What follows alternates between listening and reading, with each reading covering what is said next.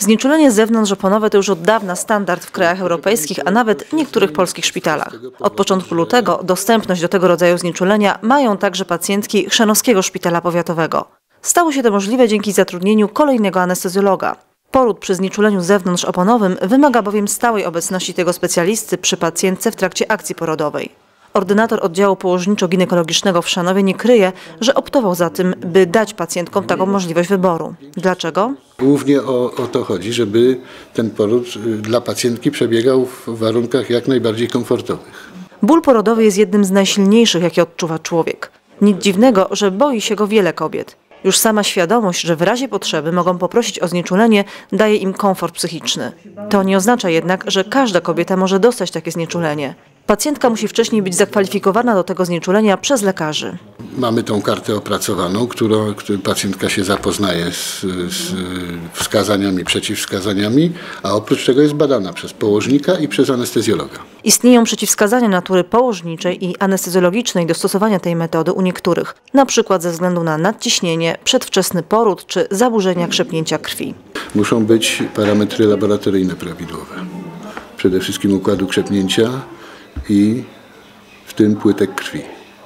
To już anestezjolog o tym decyduje, ponieważ do, jest to wkłucie y, do kanału rdzeniowego, w związku z czym wszystkie te parametry muszą być prawidłowe.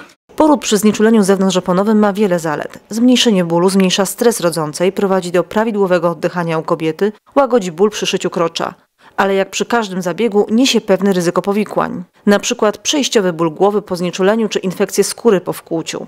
Zapewne dlatego pacjentki częściej decydują się na znieczulenie gazem rozweselającym, choć ono w mniejszym stopniu uśmierza ból, ale jest też mniej inwazyjne. Tak zrobiła pani Ewa Kobyłczyk, która 8 lutego urodziła w Szarowskim Szpitalu swego drugiego syna, Kubusia. Czy ja dostałam e, gaz, e, który mogłam wdychać podczas skurczy, który mi łagodził tak jakby te skurcze, także pomógł mi.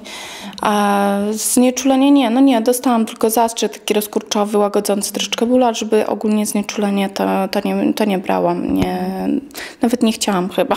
Pani Ewa przyznaje, że poród przy znieczuleniu, choćby tylko gazem, jest bardziej komfortowy. Wie o czym mówi, bo swe pierwsze dziecko rodziła bez znieczulenia. Drugi poród miała już lżejszy. Było łagodnie, jednak ten gaz mi troszeczkę pomógł. Tak jak wdychałam go, to szybciej te skurcze mijały i były takie delikatniejsze. Od początku lutego w Szanowie odebrano kilkanaście porodów. Żadna z pacjentek nie zdecydowała się jak dotąd na skorzystanie z nowej możliwości wyboru znieczulenia zewnątrzoponowego. Zapewne jednak z czasem będzie coraz więcej chętnych na takie znieczulenie. Tak, jak szanowianki przekonały się do korzystania przy porodzie z gazu rozweselającego i elektrostymulatora.